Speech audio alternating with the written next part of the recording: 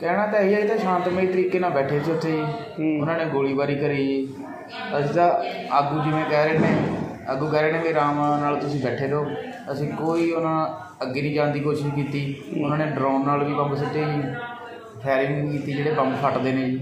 ਉਹਦਾ ਛੱਲਾ ਵੱਜਿਆ ਮੇਰੀ ਲੱਤ ਤੇ ਜੀ ਤੇ ਇਹੀ ਕਹਿਣਾ ਚਾਹੁੰਦੇ ਪੰਜਾਬ ਸਰਕਾਰ ਨੂੰ ਵੀ ਕੋਈ ਗੱਲਬਾਤ ਕਰਨੀ ਚਾਹੀਦੀ ਵੀ ਡਰੋਨ ਪੰਜਾਬ 'ਚ ਆ ਕੇ ਸਿੱਟ ਰਹੇ ਨੇ ਜੀ। ਅਸੀਂ ਇਹ ਕਹਿਣਾ ਚਾਹੁੰਦੇ ਅਸੀਂ ਤਾਂ ਸ਼ਾਂਤਮਈ ਜਾ ਰਹੇ ਸੀਗੇ ਡੱਲੇਵਾਲ ਸਾਹਿਬ ਦੇ ਨਾਲ। ਹੂੰ। ਤੇ ਉਹਨਾਂ ਨੇ ਉਧਰੋਂ ਜਦੇ ਗੋਲੇ ਚਲਾਉਣਾ ਸ਼ੁਰੂ ਕਰਤੇ ਜੀ। ਹੂੰ। ਆ 13 ਤਰੀਕ ਨੂੰ ਪਹਿਲਾਂ ਸਿਰ 'ਚ ਵੱਜਿਆ ਸੀਗਾ ਤੇ ਹੁਣ ਰਾਤ ਦਾ ਕੰਨ 'ਚ ਵੱਜਿਆ ਜੀ। ਕੰਨ ਤੇ ਪੜਦਾ ਥੋੜਾ ਜਿਹਾ ਡੈਮੇਜ ਹੋ ਗਿਆ। ਫ੍ਰੈਕਚਰ ਹੋ ਕੀ ਵੱਜਿਆ ਜੀ ਤੁਹਾਡੇ? ਉਹ ਇਲਾਜ ਠੀਕ ਚੱਲ ਰਿਹਾ? ਹਾਂ ਇਹ ਲਾਸਟ ਹੀ ਕਿਹੜਾ ਪਿੰਡ ਆ ਤੁਹਾਡਾ? 3D ਹੈ ਕੀ ਨਾਂ ਤੁਹਾਡਾ? ਗੁਰਦਰਸ਼ਨ ਸਿੰਘ। ਦੇਖੋ ਹਜੇ ਤੱਕ 13 ਤਰੀਕ ਤੋਂ ਹੁਣ ਤੱਕ 142 ਆ ਚੁੱਕੇ ਆ। ਉਹਨਾਂ ਵਿੱਚੋਂ 13 ਅਸੀਂ ਰੈਫਰ ਕਰ ਚੁੱਕੇ ਆ ਹਾਇਰ ਸੈਂਟਰ 'ਚ।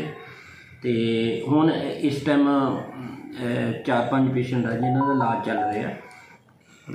ਕੋਈ ਦਵਾਈ ਵਗੈਰਾ ਤੇ ਕਿਸੇ ਨੂੰ ਕੋਈ ਚੀਜ਼ ਦਵਾਈ ਦੀ ਕੋਈ ਪ੍ਰੋਬਲਮ ਨਹੀਂ ਸਾਰੇ ਅਵੇਲੇਬਲ ਹੈ ਇੱਥੇ ਦਵਾਈ।